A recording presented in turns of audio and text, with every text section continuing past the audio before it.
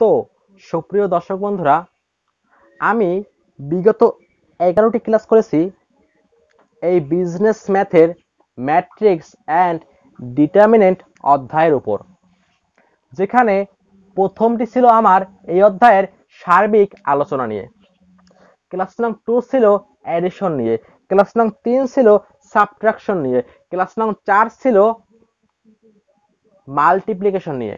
Class নং পাঁচ ছিল কোফ্যাক্টর অ্যাডজয়েন্ট ইনভার্স মাইনর নিয়ে। ক্লাস নং ছয় এবং সাত ছিল ম্যাট্রিক্স বা ইনভার্স পদ্ধতি ব্যবহার করে ইকুয়েশনের সমাধান করা নিয়ে।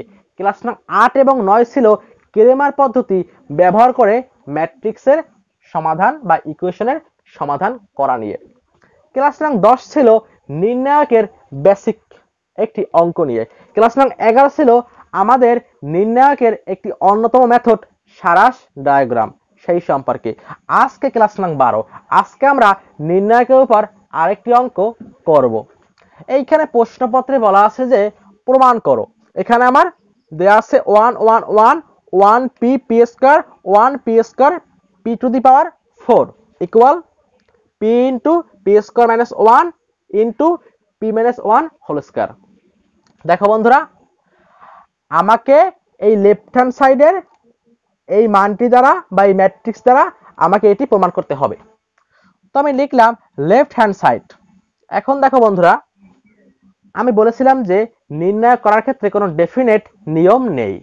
তুমি চাইলে রো থেকে রো বিয়োগ করতে পারো, তুমি চাইলে কলাম থেকে কলাম বিয়োগ করতে পারো, তুমি চাইলে সারাস ডায়াগ্রাম ফলো করতে পারো।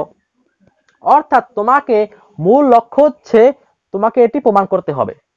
এখন দেখো বন্ধুরা আমি যে অঙ্কটি করেছিলাম ক্লাস নং দশে, সেইখানে আমি দেখিয়েছিলাম রোদ থেকে রো বিয়োগ করে সমাধানটি।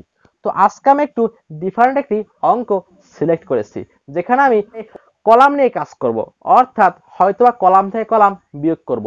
দেখো বন্ধুরা, আমার প্রথম কাজ, আমাকে তাকাতে হবে আমার কি প্রমাণ করতে হবে। দেখো বন্ধুরা, এইখানে আমাকে প্রমাণ করতে হবে পি সুতরাং আমি কিন্তু এই প্রথম রো নিয়ে কাজ করতে পারব না। কারণ এইখানে কোথাও পি নেই। আমি কিন্তু এইখানে এই প্রথম কলাম নিয়েও কাজ করতে পারব না। কারণ এখানেও কোথাও পি নেই। আমাকে অবশ্যই কাজ করতে হবে এই দ্বিতীয় কলাম নিয়ে। কারণ একমাত্র দ্বিতীয় কলামে প্রথমে আছে পি আবার কিন্তু পিএস করা আছে। তো আমি যদি এখান থেকে এই ওয়ান বিয়োগ করি, তবে কিন্তু আমার কিছুটা এইরকম একটা কাঠামো চলে আসে। অর্থাৎ পি মাইনাস ওয়ান আবার পি স্কোয়ার মাইনাস ওয়ান দেখো বন্ধুরা, তোমাকে এটি দেখে তোমাকে ভাবতে হবে যে কি করলে বা কোন কলাম থেকে বা কোন রো থেকে কোন রো বিয়োগ করলে তোমার অ্যান্সারের মতো বা তোমাকে যা প্রমাণ করতে বলা হচ্ছে তার মতো একটি স্ট্রাকচার তৈরি হবে। তো আমি কিন্তু বুঝলাম যে যদি আমি এই দ্বিতীয় কলাম থেকে বিয়োগ করি, প্রথম কলাম। তবে কিন্তু আমার, তবে কিন্তু আমার এইরূপ স্ট্রাকচার চলে আসে। তো আমি লিখলাম যে এই দ্বিতীয় কলামটি ওয়ান পি পি স্কোয়ার আমি এখান থেকে বাদ দিব এই প্রথম কলাম, অর্থাৎ one minus one minus one লিখলাম। এটি হচ্ছে আমার প্রথম কলাম। আমি লিখলাম প্রথম কলাম সমান সমান column two minus column one অর্থাৎ আমার প্রথম কলামটি হবে এই কলাম টু থেকে কলাম ওয়ান বিয়োগ করলে যে বিয়োগফলটি আসে। এবার হচ্ছে কলাম নাম্বার টু তো এই ক্ষেত্রে আমি যে কাজটি করব সেটি হচ্ছে আমি এখানে এই তৃতীয় কলাম, এখান থেকে বাদ দিব এই দ্বিতীয় কলামটি। আমি লিখলাম কলাম টু সমান সমান column three minus column two লিখলাম। এখন হচ্ছে আমার থার্ড কলাম, সেটি এখানে লিখে দিলাম। তো দেখো বন্ধুরা, এখন আমি লিখলাম one minus one equal zero one minus one equal zero one চলে আসলো। P minus one P square minus P আর হচ্ছে পি স্কোয়ার এখানে আছে P square minus one P four minus P square আর পি ফোর এখন দেখো বন্ধুরা, আমি বলেছিলাম যে যদি কোনো কলামার সারির একটির বেশি উপাদান শূন্য হয়। তবে তুমি চাইলে সেই সারি কলামকে বাদ দিতে পারো। দেখো বন্ধুরা, এইখানে আমার এই যে প্রথম সারিটি, এর সংযুক্ত কলামটি, এখানে কিন্তু আমার দুইটি আছে শূন্য। অর্থাৎ এখানে আমার দুইটি এলিমেন্ট শূন্য। সুতরাং আমি কিন্তু চাইলেই এই কলাম সারিকে বাদ দিতে পারি।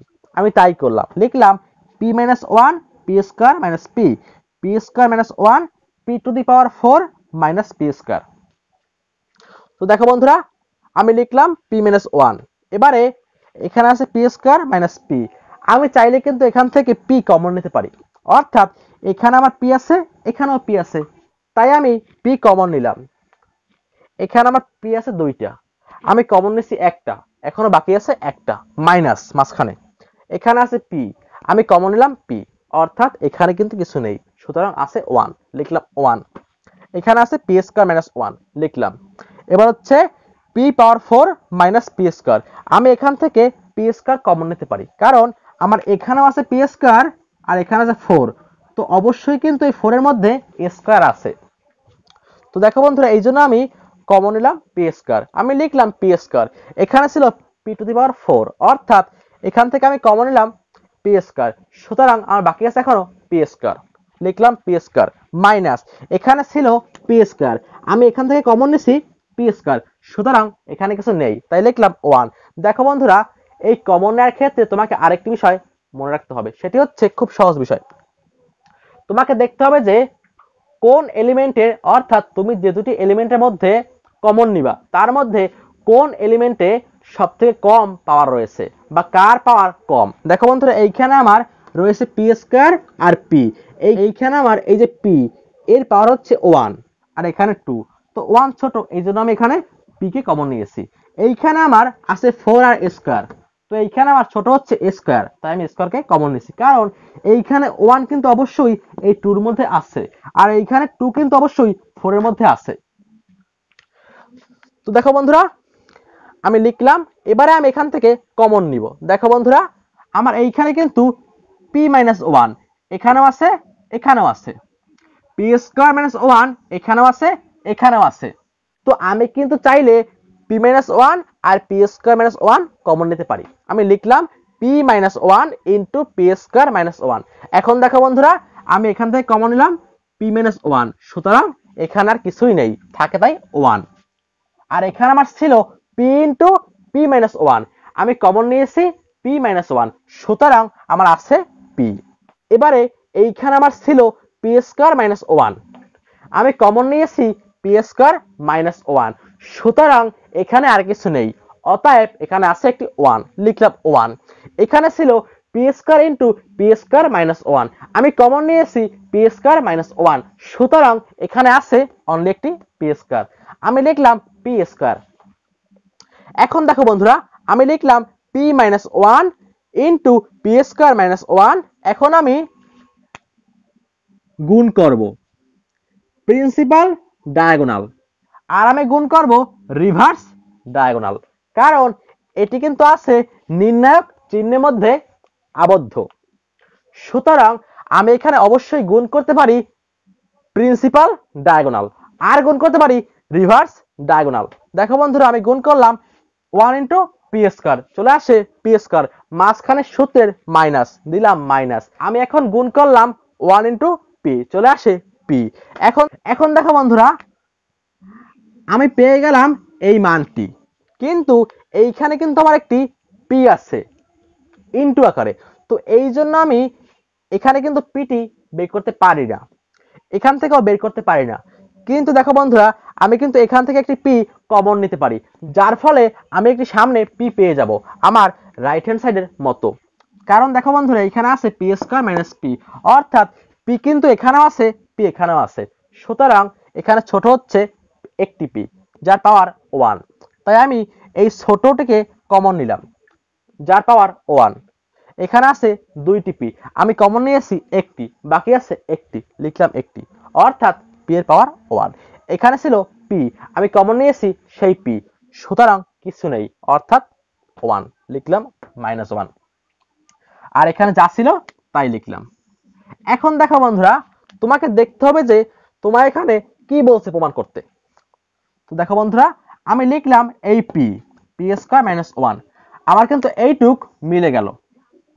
এখন দেখো বন্ধুরা, এখানে লেখা ছিল পি মাইনাস ওয়ানের হোল স্কোয়ার অর্থাৎ এখানে আমার দুইটি আছে পি মাইনাস ওয়ান তো তাকাও বন্ধুরা, দেখো, আমার এই একটি পি মাইনাস ওয়ান আর আমার এই একটি পি মাইনাস ওয়ান সুতরাং আমি কিন্তু এটি লিখতেই পারি যে পি মাইনাস ওয়ানের হোল স্কোয়ার কারণ এইখানে আমার দুইটি আছে পি মাইনাস ওয়ান তো দেখো বন্ধুরা, আমার কিন্তু রাইট হ্যান্ড সাইড মিলে গেল। সুতরাং আমি বলতেই পারি যে left hand side equal right hand side proved কারণ প্রশ্নপত্রে বলছে প্রমাণ করতে। এইখানে কিন্তু তেমন কোনো নির্দিষ্ট নিয়ম নেই। তোমাকে অঙ্কের প্রমাণের উপর ডিপেন্ড করে অঙ্কটিকে সমাধান করতে হবে। তো বন্ধুরা, এই হচ্ছে আমার ক্লাস নং বারো। আমি আশা করব যে তোমরা অঙ্কটি বুঝতে পেরেছ। তারপরও যদি কোনো শিক্ষার্থী অঙ্কটি বুঝতে সমস্যা বোধ করো, সেক্ষেত্রে তোমরা অবশ্যই আমাকে কমেন্টের মাধ্যমে জানাতে পারো। অথবা আমাদের ফেসবুক পেজ ডিএমএস টিচিং তুমি সেখানে কমেন্ট বা এস এম এর মাধ্যমে জানাতে পারো। অথবা আমাদের Facebook public group DMS teaching BBA and MBA all year তুমি সেখানেও চাইলে কমেন্টের মাধ্যমে বা পোস্ট করার মাধ্যমে আমাদেরকে জানাতে পারো। তোমার কাঙ্ক্ষিত সমস্যাটি। তো বন্ধুরা, এরপরে আমি ক্লাস নং তেরোতে আরেকটি নির্ণায়কের সমাধান করব। সেই ক্লাসটি দেখার আমন্ত্রণ জানিয়ে সকলকে বাই